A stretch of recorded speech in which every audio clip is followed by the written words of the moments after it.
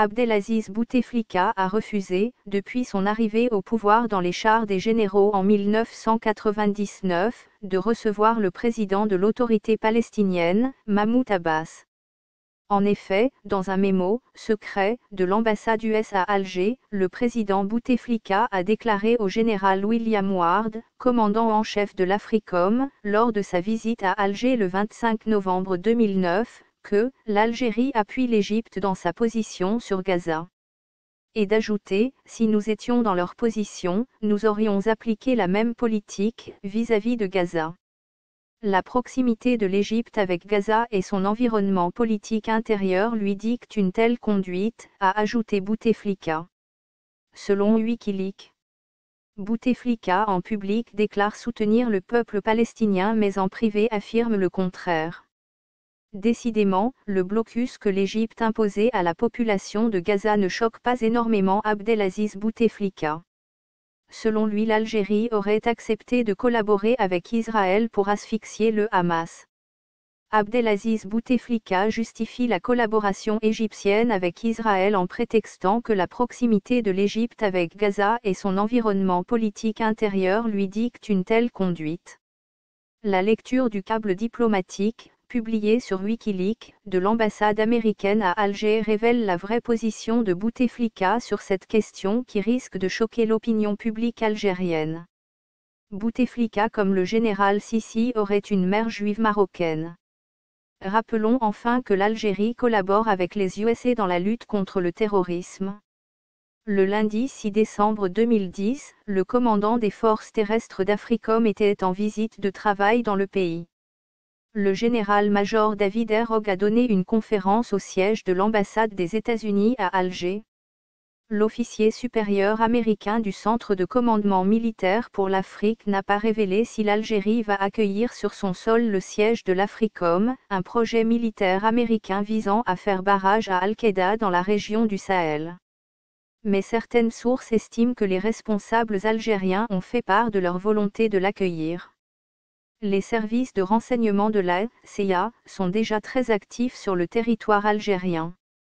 Ce n'est pas une surprise Bouteflika est un sioniste d'ailleurs les manifestations en Algérie de soutien à la Palestine sont interdites par les autorités. De plus il est interdit aux imams en Algérie de critiquer le colonialisme et le génocide du peuple palestinien.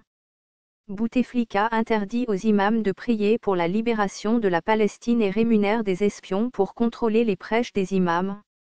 De plus ses affiches électorales sont bleues Israël or la couleur bleue n'a rien à voir avec le drapeau algérien.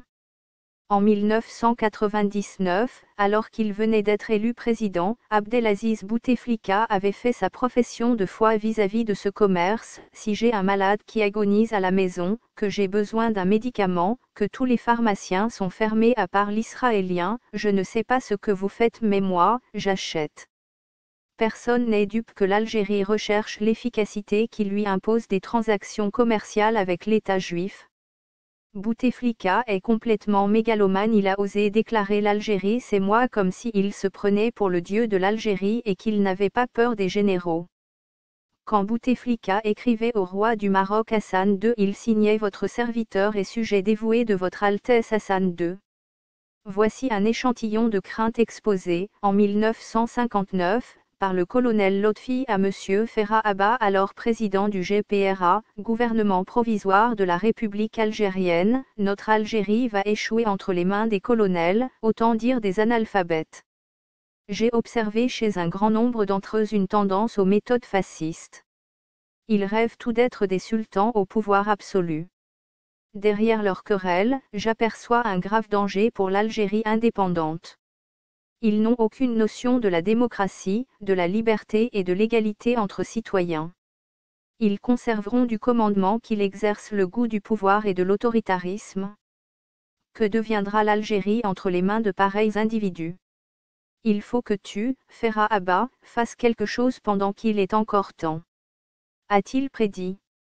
Cela fait plus de 20 ans, depuis 1994 précisément, que l'Algérie et ses grandes entreprises se fournissent auprès d'Israël en médicaments, en matériel médical ou en technologie pourvu qu'il n'y ait pas la mention Made in Israël. Le contrat avait été signé directement entre les autorités algériennes et israéliennes. Alger avait exigé que la fourniture s'effectue via une société basée en France et que les produits soient débaptisés d'un nom bien français. Ainsi, pendant plusieurs années, le Made in Israël a été remplacé artificiellement par le Made in France.